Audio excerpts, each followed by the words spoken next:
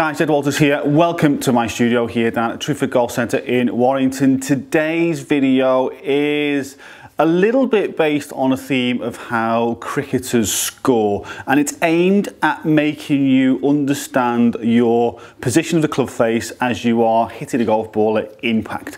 So this drill is what I call a wagon wheel drill, so let's go and take a look. Right guys, so the concept of the wagon wheel drill, if we think about watching cricket, and any of you guys who do play cricket, or if you've watched cricket on the TV, the wagon wheel is a, a graphic that is shown to show the direction and the areas and where a batsman scores their runs.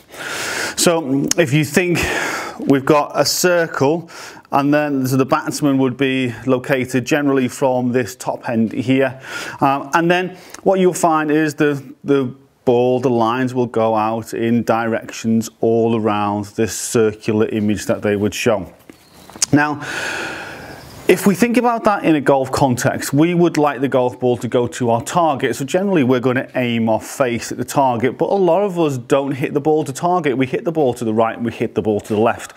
The club face is in the main directly responsible for the reason it goes to the left or to the right. The ball will always start closer to the direction the club face points in, impact. So if we can build the awareness of intentionally hitting the golf ball to the right with the club face to the right or to the left with the face to the left, and then to target and we start to get our feelings about that, it can make life much easier for you guys to be able to hit the golf ball to your target, especially when you see danger on the golf course.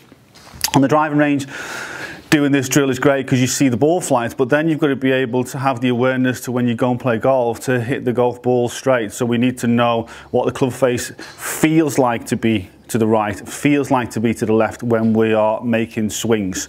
So I'm just going to hit a couple of shots here and I'm going to get that feeling. I'm going to start with the first one is I'm going to try and get this golf ball to go to the left.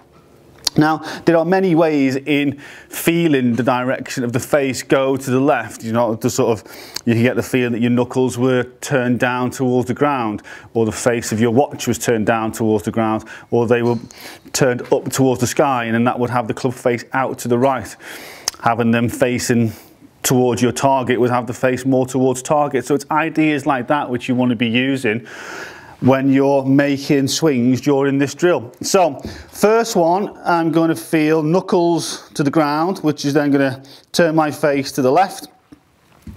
So here we go. and that one starts left and it's moving a little bit further as well with a little draw on it. So mission accomplished with shot number one. Shot number two is I'm going to feel knuckles go more towards the sky. So the ball should start more to the right and it may well curve, it may well just go straight to the right. But the idea is I want to feel more of that as I go through impact.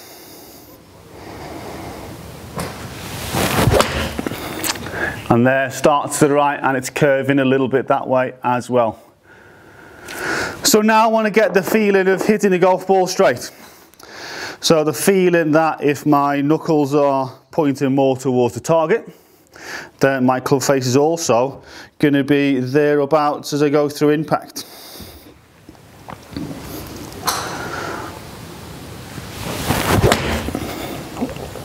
and there start at the target. Tiny little bit of draw which is my natural shape.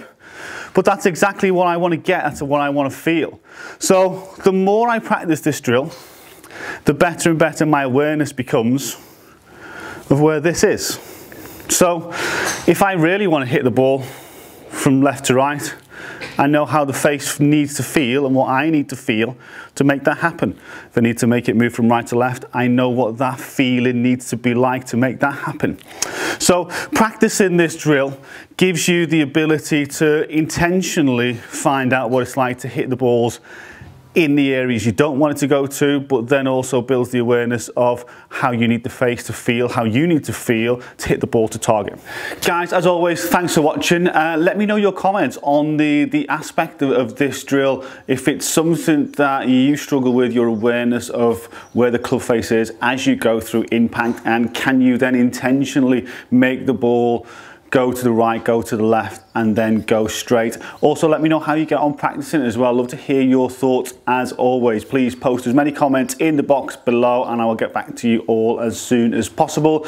As always, if you like the video, please give it the thumbs up as well. Click that little thumb down there. Subscribe to the channel if you haven't done so already. Uh, and I look forward to seeing you guys again next time. Thanks for watching.